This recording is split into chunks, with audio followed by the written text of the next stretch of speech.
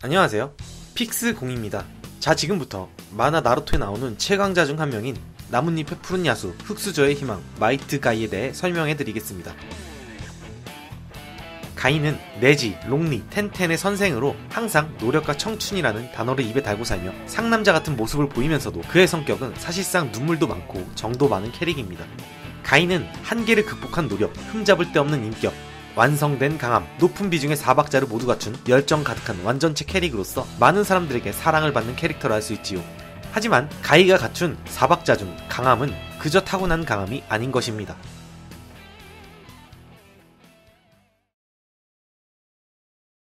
가이는 어린 시절 흔히 말하는 낙제생이었습니다. 오죽하면 아카데미조차 떨어질 정도였지요. 닌자가 되고 싶었으나 인술과 환술의 재능이 없는 가이가 기댈 곳은 채술뿐이었습니다. 하지만 안타깝게도 체술조차 재능이 없었습니다. 아버지인 마이트 다이는 만년 하급 닌자에 흔히 말하는 비전 인술조차 없는 흙수저 중에 흙수저라 할 수 있습니다. 하지만 마이트 다이는 매우 긍정적인 사람이었습니다. 가이를 보며 너가 인술과 환술의 재능이 없는 게 아빠에겐 기쁜 일이다. 단점을 알면 장점이 빛이 나는 법. 너의 체술은 빛이 나려 한다고 가이를 격려했습니다. 가이는 노력하고 또 노력했으며 그 과정을 지켜본 사루토비 히루젠은 가이를 아카데미에 추가 합격시켰습니다. 아카데미에서 가이는 카카시를 보며 천재란 것이 진짜로 있구나 했습니다. 그래도 가이는 떨쳐내고 다시 자신의 수련에 열중했습니다. 그렇게 수련을 하는 도중 우연히 카카시가 수련을 하는 것을 목격했습니다. 재능이 없어도 노력하면 카카시보다 강해질 것이라 여겼지만 천재라 불린 카카시도 자신 못지않게 노력하는 모습을 보며 가이는 절망했습니다. 하지만 자신만의 규칙을 정한 후 그 규칙을 달성하면 카카시에게 도전하기로 결심했습니다. 그의 노력은 슬슬 빛이 나기 시작했고 결국 천재라 불린 카카시와 호각을 겨룰 정도로 강해졌습니다.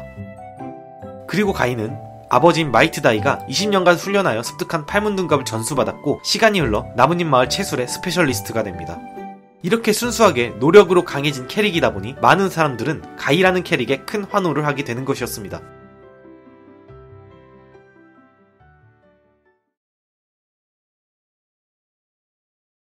가이는 사스케와 록리의 대결에서 처음 등장하였으며 누가 봐도 우스꽝스러운 생김새와 행동에 처음 나루토를 보는 사람들에겐 그저 개그 캐릭터로 여겼으나 본인 입으로 카카시의 라이벌이라는 말을 하여 나루토, 사스케, 사쿠라뿐만이 아니라 우리에게도 큰 충격을 주었습니다. 이때 카카시는 자부자와의 전투에서 일반적인 상급 닌자와는 클래스가 다른 대접을 받던 시기였습니다. 당연히 카카시의 팬은 무척 많았으며 이때 많은 사람들이 가이를 보며 뭐 저딴 놈이 카카시의 라이벌이냐는 말을 들을 정도였지요. 하지만 그가 슬슬 사람들의 이목에 집중되는 시기는 중급 닌자 시험 때 록리와 가아라와의 대결인데요. 실제로 나루토의 독자와 시청자가 늘어난 계기라고 할 수 있습니다.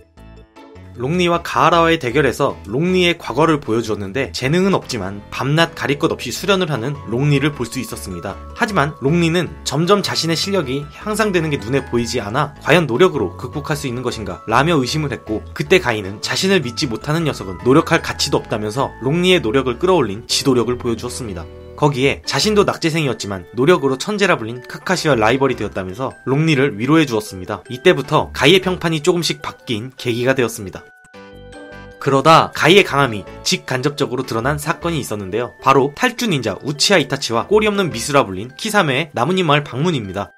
환술에 특화된 쿠레나이를 환술로 간단히 제압한 이타치 그리고 키사메와 아스마와의 대결 중 카카시가 난입하였고 카카시는 사륜안을 가진 자만이 사륜안을 상대한다며 홀로 이타치를 상대하려다 츠쿠요미에 걸려 간단히 제압당했습니다.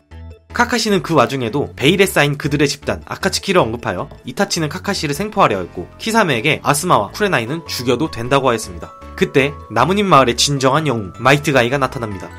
이타치는 가이가 나타나자 키사메에게 저자를 얕보지 말라고 경고하였고 결국 도주를 선택하였습니다. 가이가 나타나자 도주한 이타치를 보며 아 역시 카카시의 라이벌이구나 라는 모습을 보여줬습니다. 사실 과거 이타치는 암부 시절 카카시의 부하로 활동했으며 그 과정에서 임무 도중에 가이의 체술을 목격하였는데 가이의 체술에 놀라는 모습을 보였습니다. 거기에 아카츠키의 신입으로 입단했을 때 초창기 파트너인 비와 주조가 마이트 다이를 아냐고 물어보았는데 이타치는 마이트 가이는 알고 있다고 대답했습니다. 마이트 다이는 과거 3차 닌자 대전에서 금술 8문 둔갑을 사용해 안개마을 닌자도 7인방 중 4명을 홀로 박살낸 전적이 있습니다. 주조는 거기에 생존자였던 것입니다. 수염난 놈이 무슨 그런 체술을 휘두를 줄 누가 알았겠냐면서 마이트 다이의 강함을 인정했고 그러면서 주조는 이타치에게 상대를 겉모습으로 판단하지 말라고 충고한 적이 있습니다. 아마 이타치는 과거 본인이 목격한 체술 실력에 주조의 충고로 가이를 쉽게 이길 수 없다 판단하여 도주를 선택한 것이라 판단됩니다. 그리고 가이의 강함은 또 한 번 증명되었는데 바로 키사메와의 전투입니다. 록리와 가아라와의 대결에 처음 등장한 팔문 둔갑을 키사메와의 대결에서 다시 보여준 가이는 8개의 문 중 7개의 문을 열어 키사메를 쓰러뜨렸습니다. 사실 키사메의 강함은 논란이 많았습니다. 키사메는 카게급의 수준을 가지고 있고 인술을 흡수하는 능력을 가졌으며 단지 가이에게 패배한 원인을 상성 문제로 여기는 사람도 있습니다. 하지만 제 개인적인 생각으로는 팔미의 차크라를 흡수했고 키사메의 홈그라운드인 물에서 싸운 점을 보면 단순히 상성 문제로 보기보단 실력으로 찍어눌렀다고 볼 수 있습니다. 하지만 이런 논란조차 잠식시킬 어마어마한 사건이 있었습니다. 나루토를 사랑하는 사람이라면 한 번만 볼 수 없는 그 장면. 처음 보려는 사람에게 속옷 한 장 준비해서 보라고 조언 필요할 전투씬. 수많은 사람들이 가이를 찬양하고 가이교를 설립하게 된 계기. 육도 마다라와의 대결인데요.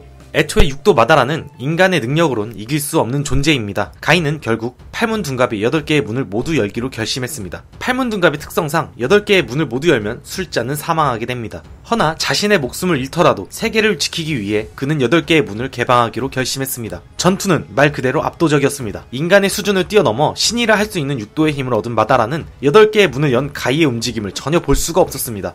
남을 칭찬하기에 인색한 마다라가 하시라마 이후로 이런 두근거림은 처음이라 했으며 체술만 보면 최강이라고 인정했습니다. 마다라는 인술, 체술, 환술 모든 분야에서 천재적인 재능을 타고났지만 그중 유독 체술에 강한 케이스입니다. 그러나 그런 마다라가 흥분하면서 최강이라 인정하는데 나루토를 보는 우리가 인정을 안 할 수가 있습니까? 하지만 안타깝게도 나루토 최강의 임팩트를 보여주었으나 주인공이 아닌 관계로 나루토와 사스케가 막타를 칠 수 있게 양념만 치는 역할을 한 꼴이었지요. 나루토가 육도의 힘을 얻고 그의 생명에 불씨를 넣어주었지만 한쪽 다리가 아작난 가인은 휠체어 신세를 면치 못하는 모습에 흑수저의 희망은 그렇게 무너집니다. 다른 캐릭터들이 혈통, 전생, 혈족으로 전해진 비전, 미수 등의 특별한 요소로 강해지거나 개연성 없이 뜬금포로 강해진 것에 비해 가인은 매일매일 기상부터 취침 전까지 수련에 전념하는 모습을 보였기 때문에 남들이 갑자기 강해지고 받은 평가와 달리 고생하고 얻은 능력, 이제야 인정받는다는 평가를 받게 되었지요.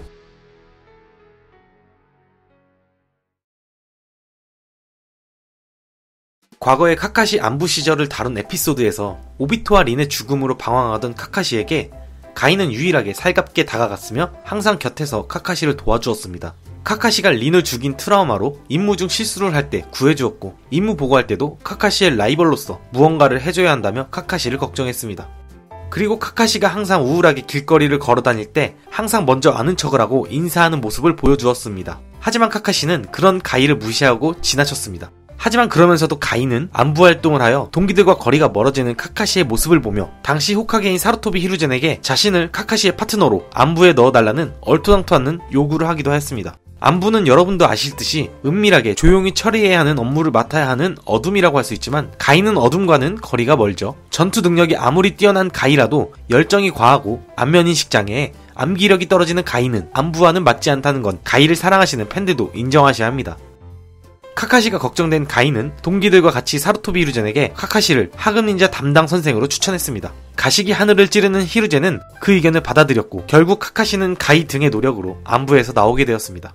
그리고 쿠레나이, 아스마와 같이 경단을 먹고 있을 때 카카시에게 같이 경단을 먹자고 권유하였습니다. 여기서 주목해야 할 점은 카카시를 정면으로 바라보는 쿠레나이와 아스마는 아는 척도 하지 않았으며 가이는 카카시에게 등을 진 상태였습니다. 하지만 등을 돌린 상태에서 카카시를 먼저 발견해 같이 먹자고 한 것이었습니다. 물론 카카시는 살벌한 얼굴로 가이를 쳐다보고 대답도 하지 않고 지나쳤습니다. 그런데도 가이는 기분 나빠하기는 커녕 꼭 안부 시절 어두운 눈을 하고 있다면서 걱정하는 킹성을 보여주었습니다.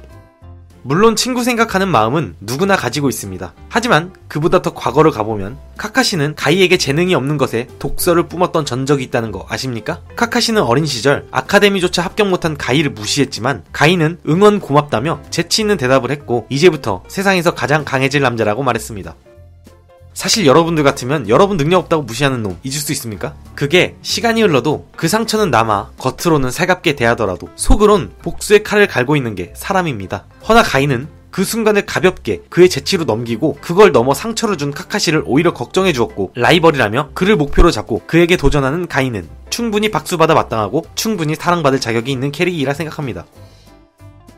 마지막으로 제자를 사랑하는 마음 가하라와의 대결에서 다리를 다친 리 수술 성공 확률도 낮으며 실패 시 생명이 위험한 상황에 가인은 롱리에게 계속 노력해온 너의 수술은 반드시 성공할 것이라며 만분의 1 아니 1억분의 1의 확률로 실패하면 내가 같이 죽어주마 라고 말했으며 너를 만난 후 나의 닌자의 길은 너를 훌륭한 닌자로 키우는 것이라며 지도자로서 최고의 모습을 보여줬습니다.